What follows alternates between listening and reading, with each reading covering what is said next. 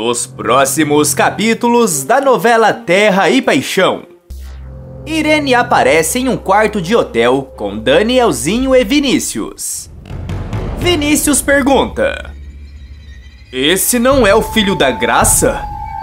Irene diz: Agora ele é meu. Jurecê alerta ao delegado que Vinícius foi levado por Irene. E logo em seguida tem uma visão. Ele olha para o céu, que fica azulado, e vê um carro caindo num desfiladeiro e depois aparecendo todo amassado. Jurecê diz: Se você quer salvar o seu filho, você precisa correr, delegado. Vinícius engana Irene e manda uma mensagem para Marino avisando onde eles estão. Irene percebe que foi traída e corre com Vinícius e Danielzinho no carro. Marino aparece seguindo o automóvel. Graça recebe uma triste notícia sobre Danielzinho. Mas Jurecê diz que nem tudo é como ela pensa. Jurecê para o velório de Danielzinho e faz duas revelações chocantes. Todos os presentes vão ficar paralisados diante da revelação. Irene vai se dar muito mal. Antes de continuar, clique no botão de gostei para receber mais vídeos da novela.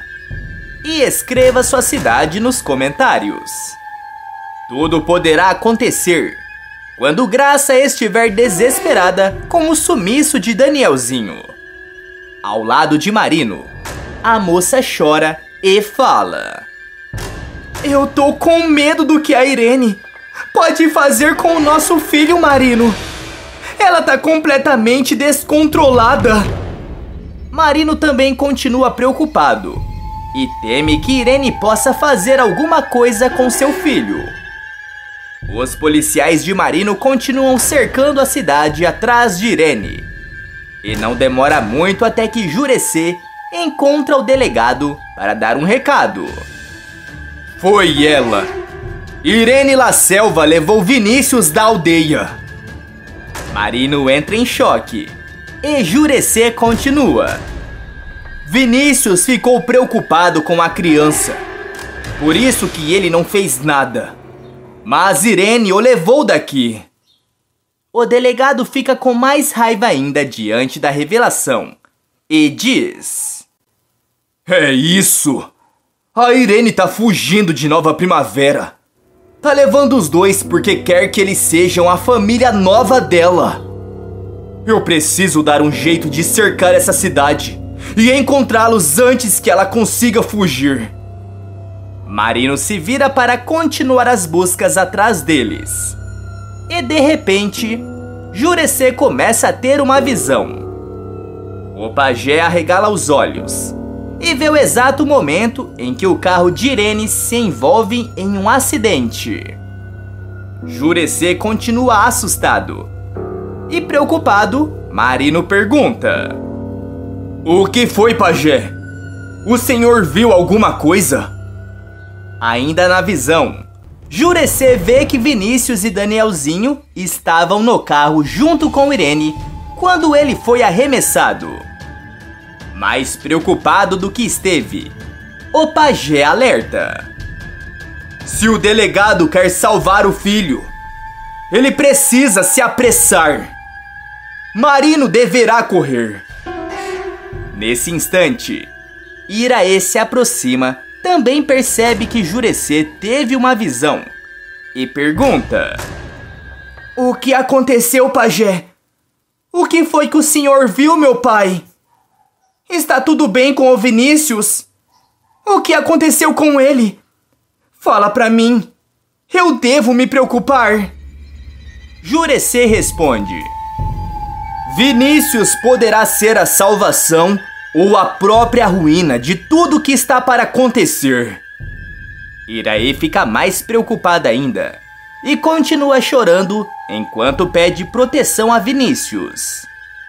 Enquanto isso, Irene chega com Vinícius e Danielzinho no hotel em que ela está se escondendo. O geólogo teme que ela faça algo ao garoto e finge concordar com ela. O rapaz passa um tempo parado, ainda em choque. Olha para o berço e pergunta: Esse bebê não é o filho da graça? Com um sorriso gigante, Irene se aproxima do rapaz e responde: Era. Agora ele é meu. Seu filho. Nós vamos ser muito felizes juntos. Vinícius continua parado. Irene o abraça e fala: Com vocês dois, eu não estou mais sozinha no mundo. Vinícius arregala os olhos e não responde nada. Esperto, o geólogo continua fingindo cair no papel da vilã mas pensa em alguma forma de fugir dali e se salvar. Não demora muito até que ela coloca sua última parte do plano em prática e fala: A gente precisa ir. Temos que fugir daqui o quanto antes, Vinícius. Já mandei arrumar documentos falsos pra gente.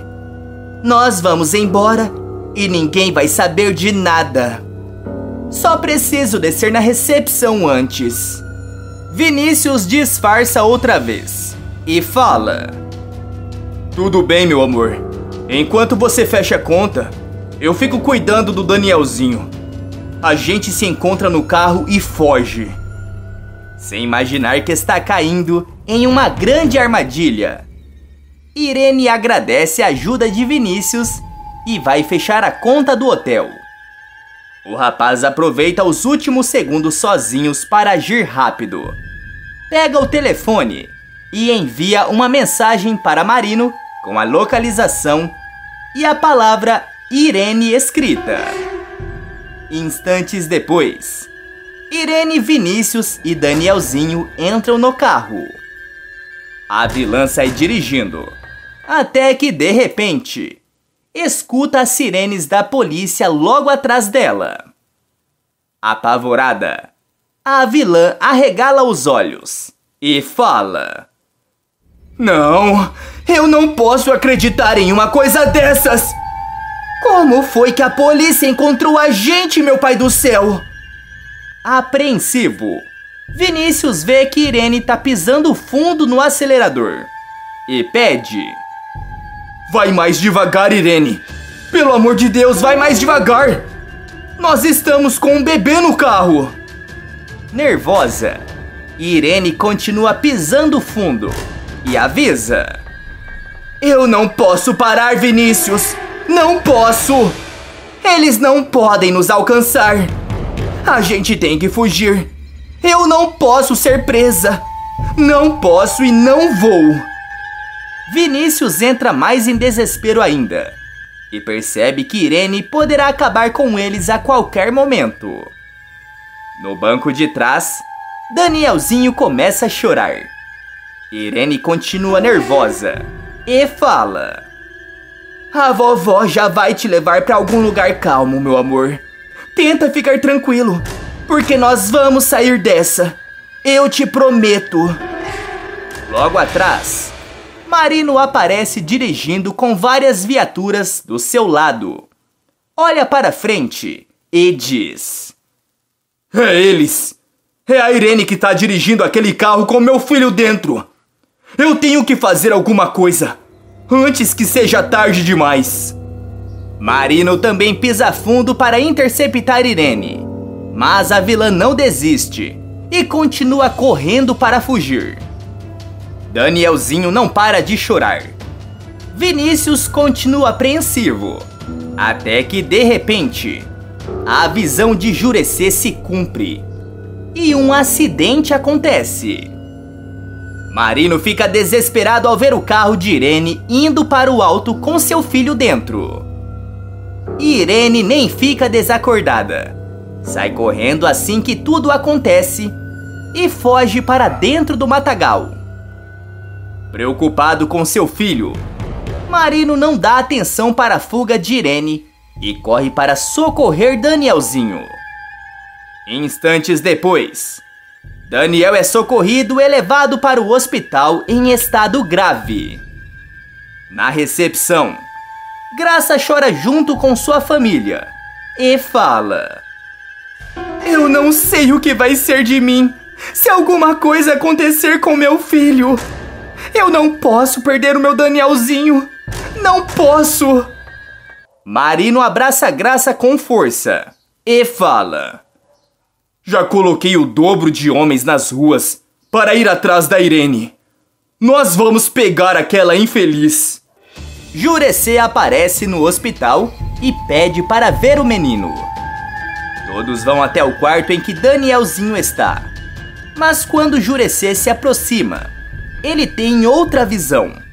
Arregala os olhos assustado e sai correndo sem dar explicação para ninguém. Confusa, Graça pergunta: O que será que aconteceu com o pajé para ele sair daqui nervoso desse jeito? Marino também não entende nada. Tadeu chega e tenta consolar Graça, Gladys e Marino. Instantes depois, uma médica os encontra na recepção do hospital e diz: Eu sinto muito. Nós fizemos tudo o que podíamos, tudo o que estava ao nosso alcance. Mas, infelizmente, ele não resistiu. Graça sente o seu mundo desabar quando escuta aquilo. Chora como jamais chorou em toda a sua vida e grita: Não, não, não! Eu não aceito isso! Não é verdade! Isso é um pesadelo! Meu filho! Eu quero meu filho de volta! Eu quero meu filho! Marino corre e tenta abraçar Graça. Gladys chora mais ainda, passa mal e diz: Isso não tá acontecendo, meu Deus! Alguém me fala que é uma mentira! Isso não pode ser verdade! Toda a tristeza de Marino é transformada em raiva. O delegado também não consegue se segurar e grita: Aquela infeliz da Irene vai pagar! Ela vai pagar muito caro! Eu não posso deixar isso barato. Não posso mesmo. Eu tenho que fazer justiça pelo meu filho. Graça grita: Me leva e traz meu filho de volta! Eu quero meu filho! Ninguém consegue acalmar Graça e todos continuam sofrendo. Não demora muito até que a notícia do que aconteceu roda a cidade. Várias pessoas chegam ao velório do garoto. Graça chora ao lado do caixão e ninguém consegue consolar a mulher. Caio chega junto com Aline.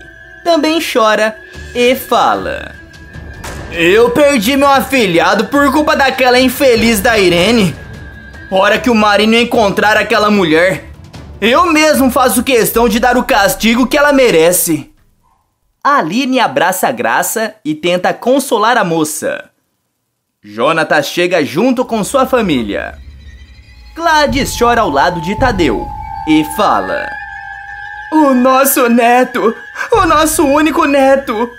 O nosso Danielzinho se foi, Tadeu! Meu Deus! Tadeu abraça Gladys.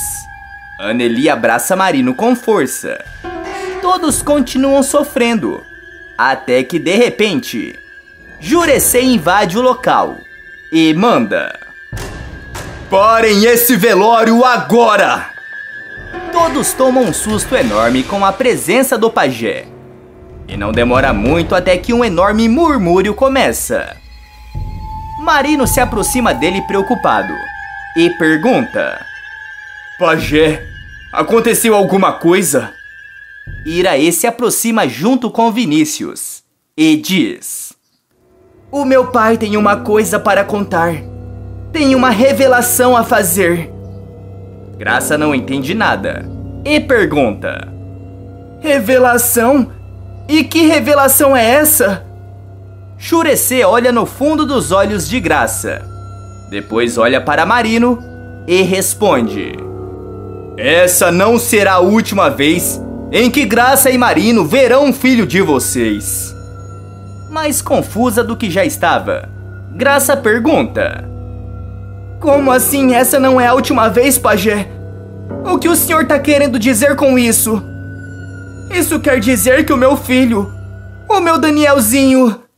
Marino a interrompe e pergunta: Você tá dizendo que o meu filho e da Graça está vivo, pajé? Por favor, explica isso direito. Porque tá doendo demais saber que eu vou ficar sem o meu Danielzinho. Caio olha para Aline e sussurra. O que será que tá acontecendo? Por que o pajé tá falando essas coisas? A Aline também cochicha. Eu não sei, Caio, mas confio no Jurecê. Jurecê olha mais ainda para o casal e fala: A única coisa que lhes digo é que a responsável por tudo isso, a Irene Lacelva, está aqui, nesse velório, junto com todos nós neste exato momento. Mas ela está escondida. Nesse instante, o murmúrio fica ainda mais alto. Todos olham para os lados à procura de Irene. Marino não perde tempo e grita: Feche as portas! Fechem as portas agora! Eu preciso encontrar essa mulher! A confusão começa e várias pessoas correm para fechar as portas. Caio olha para todos os cantos do local e tenta procurar a sua madrasta. Marino olha para todos até que de repente encontra Irene disfarçada. Mais apavorada do que estava, a vilã chora e fala: Não é culpa minha, eu posso explicar. Jamais faria isso de propósito com o Danielzinho. Eu amava ele. Graça não se segura. Avança para dar uma lição em Irene. Caio, Aline, Gladys, Anneli e várias pessoas também vão para cima da vilã. Marinos interrompe segura Irene e avisa: Você tá presa e eu vou fazer de tudo para garantir que você fique na cadeia para o resto de sua vida, Irene. Irene chora mais ainda. Não consegue escapar e é levada por Marino, enquanto chora e grita: Me perdoa! Por favor, me perdoa! Não queria ter feito isso com o Danielzinho! Não queria! Graça continua chorando e todos correm para socorrer e acalmar a mulher. A moça volta para sua casa ao final do velório e Gladys dá uns comprimidos para ela se acalmar. Graça toma tudo que sua mãe deu e acaba dormindo. De repente, no meio do sono, Graça começa a sonhar com seu filho e fica feliz. Jurecê invade o sonho de Graça e avisa: seu filho está bem e estará com você quando você acordar. Você acha que o Danielzinho está vivo? Coloque sua resposta nos comentários. Tá aparecendo para você mais um vídeo surpreendente da novela. Clique nele para assistir. Inscreva-se no canal para receber todos os vídeos publicados depois da novela.